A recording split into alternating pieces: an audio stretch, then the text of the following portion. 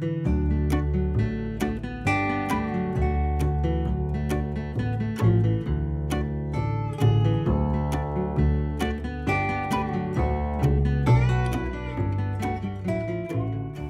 I'm Allison. This is my husband, Nick, and we've been living on the road for about six months now.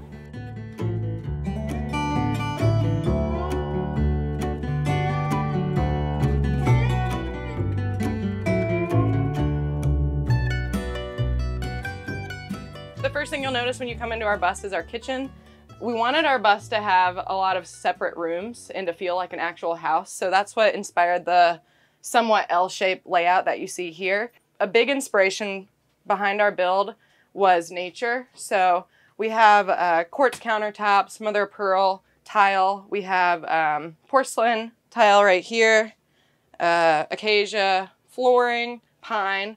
So yeah, very much inspired by nature. So we have a Furrion stove and oven. Our stove is almost big enough for a pizza. Unfortunately, our freezer does not fit a full-size DiGiorno. so that's the only complaint we have there.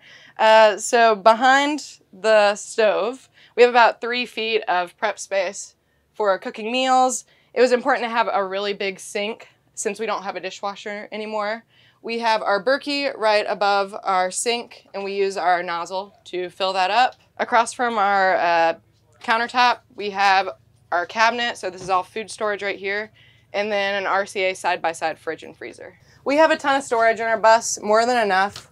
We built uh, cabinets up above that you see here, and we have those on the gas struts so that it's not annoying when you open them. When we first moved into our build, we didn't have the gas struts, and I was constantly holding it up with my head. So that was a nice little addition. It's those little things you realize after you've been living in a small space. Across from our kitchen, we have our wood burning stove. This is probably my favorite feature in the bus. I'll notice that when I'm watching TV at night, my eyes will divert over to the stove just because it's so beautiful to look at. Um, this is our main source of heat. We also have a propane burning um, stove over here as well, but that thing is ventless, so it does create a lot of condensation, and we prefer this for the dry heat so we don't get that condensation buildup. Um, one of the first things that we put into our bus was this tile for the wood burning stove. It was a really big pain to install. It was very hard to match up that pattern, but overall we're really satisfied with how that turned out. Uh, we have a fireball right here, and this is just for added protection. If our fire ever got out of hand, this would combust and instantly put out the fire, um, or you can even throw it in. This gives us peace of mind if we're not in the bus.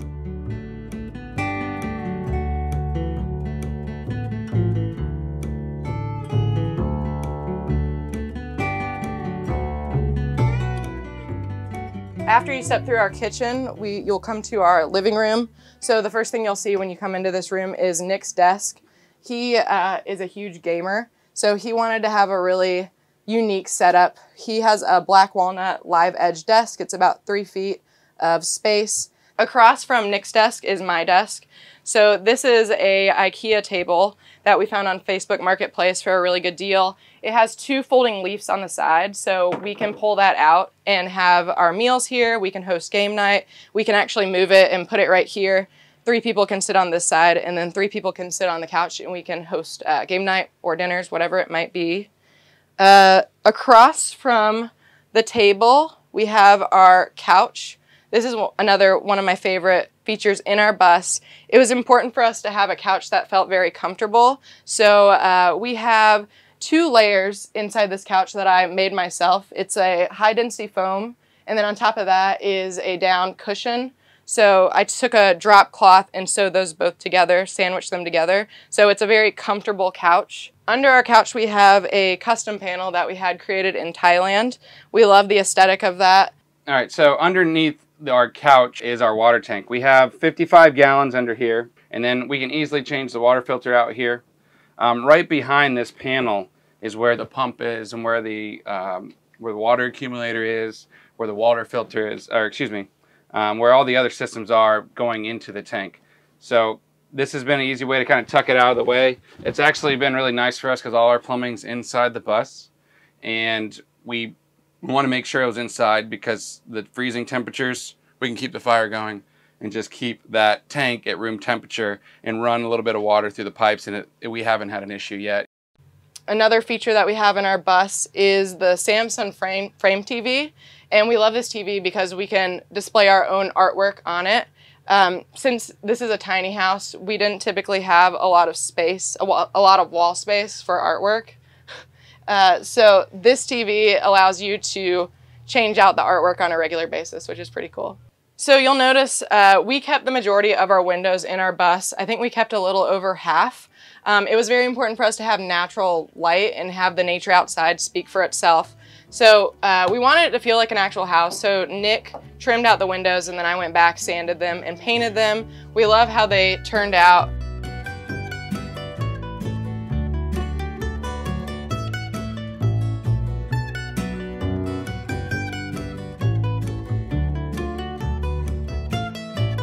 We decided we wanted to buy a, a school bus after looking at a bunch of tiny homes and we just we considered a bunch of different options and then we, we watched a video and kind of inspired us to go the school bus route and haven't looked back since. So Yeah. bought a bus, what, 2018 Yep. in November off eBay for $5,000. Mm-hmm. And we flew to Indiana from Denver Yep. to go and pick it up. So we bought it sight unseen.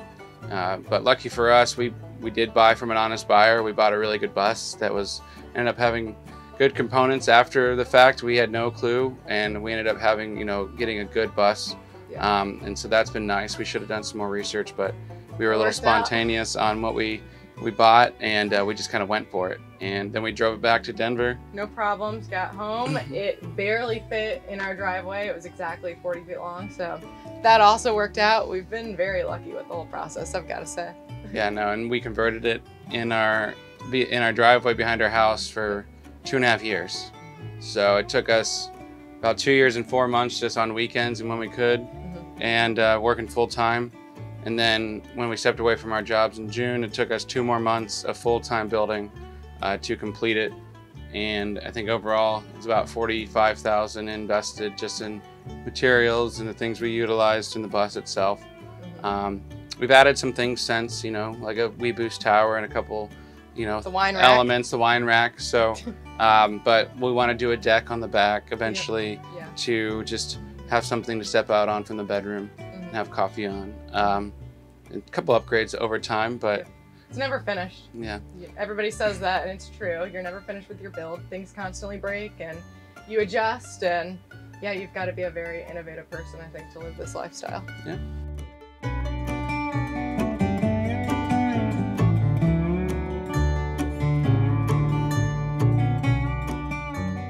Once you come through our hallway, the first thing that you'll notice is our bathroom. So we created this uh, bathroom door. We found the old door at a local antique shop, and then we also found the, the stained glass separate.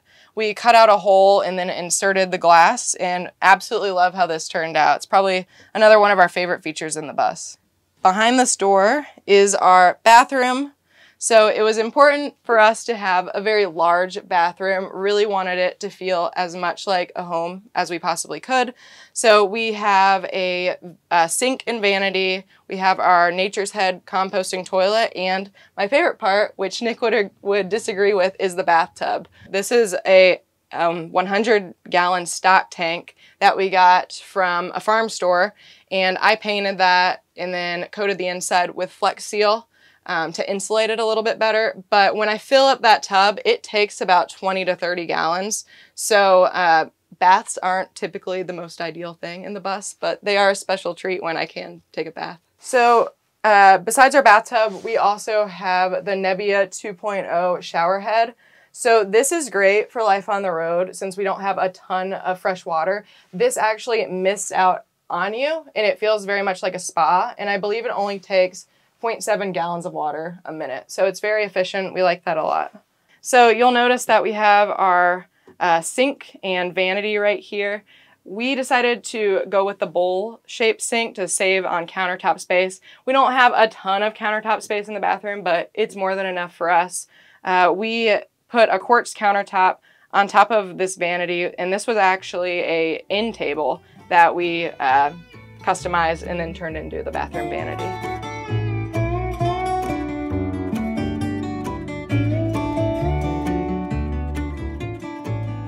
So at the back of our bus, the first thing you'll notice is our skylight up above. We love that this allows a lot of natural light to come in, but it does have a leak. Seems like everyone that does have a skylight seems to have a leak, uh, and we cannot find that leak. So we might replace that at some point. It is a little warm back here sometimes. We may actually replace that with a max air fan.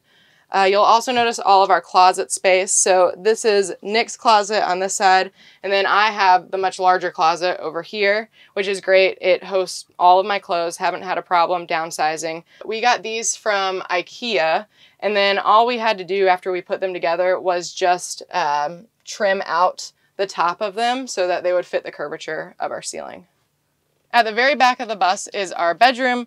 We have a queen size bed. It was very important to keep all of the windows back here. We have a 360 view, which is awesome. We're able to look out at all of the beautiful views. Under our bed, we have more storage. We have baskets down below. And then we have a wall about right down the middle of the bed um, underneath. And so this back area, which we'll show you outside, is our garage area. So that hosts all of our weights and things of that nature. So we don't have a ton of storage in the back bedroom. We didn't want to enclose it entirely. We want to be able to sit up in bed um, when we want to, but we do have two cabinets up above. So we have all of our books, extra games, things of that nature. So we have um, curtains. We have the same curtains throughout the entire bus. These are blackout curtains that I believe I found at Walmart for less than $2 per curtain. So it was a very easy way. I didn't have to customize them or do any sewing of that nature.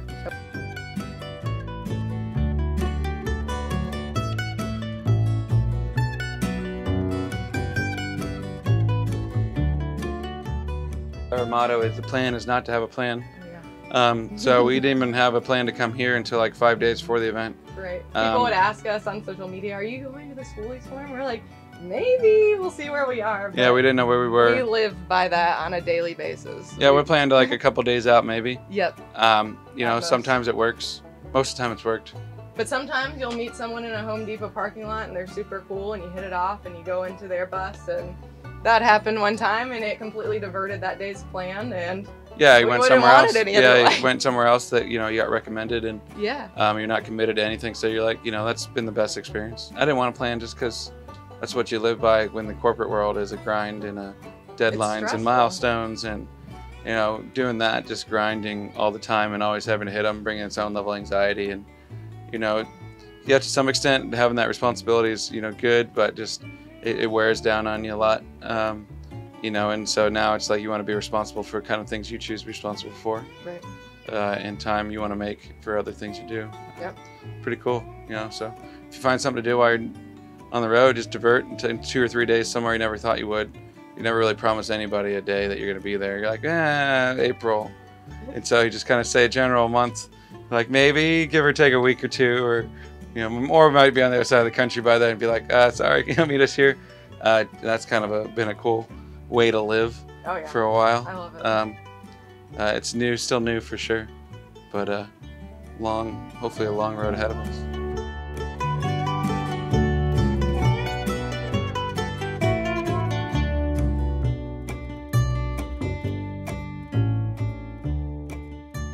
So let me show you the electrical cabinet. Um, we have any normal house panel, just like you know any other house would.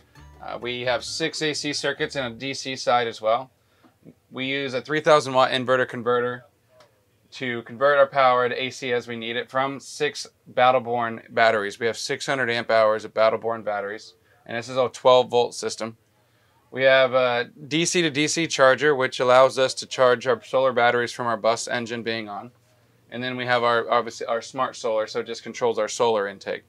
Um, on the top of the bus, we have 1,200 watts of solar, and then for the 600 amp hours of battery that we have. This serves us pretty well for everything we need. I would like to have more batteries. I think it comes down to budget at that point. I'd like to do a 50 amp system, but we're not going to be plugged in that much, so it doesn't really matter on that.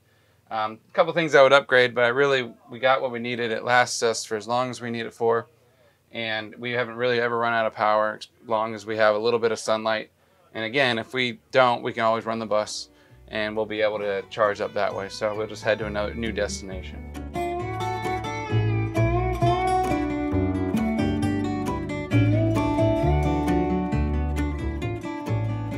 So let me show you the garage area behind the bus underneath the backside of the bed. So a little disorganized, but you know, it's a catch-all garage. So we have our weight system in here. Uh, we have some dumbbells that we got on the road. We even have our, all of our backpacking gear, our camping gear. If we want to take, you know, a back road or a back camp um, and hike in and take a, you know, a couple days out of the bus, we can. Carry our washer and dryer little barrel in here. We actually have been using it a couple times now. We have a washer barrel and it just allows us to clean clothes when we're out and don't want to go into a laundromat. And as long as it's a nice day, we just dry them out in the bus. And so that stays and lives here. There's a big old cavity underneath the bus that we were able to cut out. And we had one of our friends that was a welder make us a big steel case at 11 foot by two foot deep. Now, this is what I was talking originally about having for the batteries and was gonna put the batteries out here and then use the other side for storage. But uh, we decided to move those up front and then we added, obviously gave us more storage to put tools. So I can carry all my tools in the toolbox, we call it down here. Uh, I have a power outlet too, just to run any of my power tools pretty well. And you can see it's got a lot of storage for the whole space. So 11 foot long. So we actually got a massive Flame King under here. It's, it's a 100 pound propane tank. It carries about 23 gallons of propane. Uh, it's the larger one because the two smaller ones we wanted weren't available. And so we just got what we could get our hands on. We can probably last without filling up our propane six months. We have a spigot out here, just fresh water, drain the tank. It's one way to drain the tank, but it's also one way we just wash your hands, have some water running outside to wash down anything your feet off the beach, uh, wash down the dogs, just have an outside source of water, fill a bucket up. It's actually been really convenient. Doesn't have any pressure, it's just gravity fed, but enough water comes out of here to do what you need to. And then underneath we have 55 gallons of gray water and that's, you know, the only size we could fit under the bus.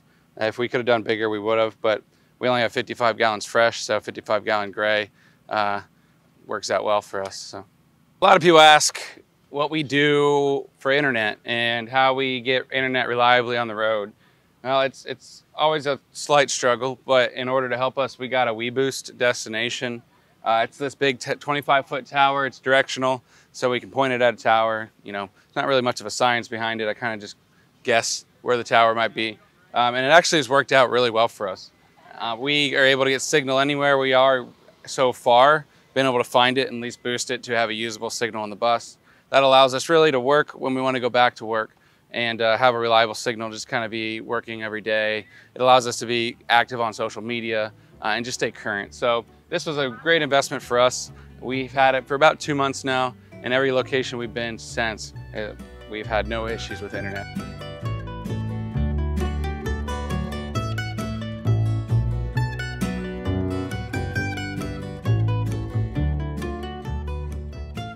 Some one of the things I found out to be really cool about this lifestyle is, is the people that do it are all very like-minded. Um, you very you're, you're, you know become very close friends with a lot of people you're around, and uh, you know being able to have those relationships form is probably one of the most rewarding things about the life. Oh, yeah. You have time for people, you have time for yourself. Yep. Um, you can uh, you don't have that grind every day, all day, and exhaustion when you get home doing work, the work grind. Um, you know, so there's a lot more free spirited, you know, and a lot more mindfulness of uh, what's around you. Right. A lot of people that come here, even these events, don't even have a bus yet, or they haven't ever had one. They are really inspired when they talk to people and see it done, and it's cool to see people light up um, when they see what can be done with the bus uh, and what, you know, what the experiences are with this lifestyle. Yeah. Um, you know, it's it's it's it's growing every day, and it's pretty cool to see it grow just from when we bought our bus. Right. Yeah. Um, social media has been huge for us too. A lot of people talk bad about social media. It's such a, it's such a bad thing, but really it's opened up so many doors for us, so many opportunities. We've met some of the coolest people and we wouldn't have been able to do that if it wasn't for our social media platform. Our social media handle is Rolling with Ophelia. It's, rolling at, and it's for all three platforms Yep, that we use. TikTok, Instagram, and YouTube. Yeah, but building that up, maybe that might lead to something one day. We appreciate you guys taking a look at our bus. You know, I hope this inspires more people to uh, see what's possible and what you can achieve even by doing it yourself. Uh, I've never lifted a hammer before this, and a little bit of creativity and hard work Yep. uh, and commitment allowed us to have this that we're now living in, and the dream has become real. So uh, I hope that other people can uh, aspire to do this, just you know, and we inspire people to do that every day. So.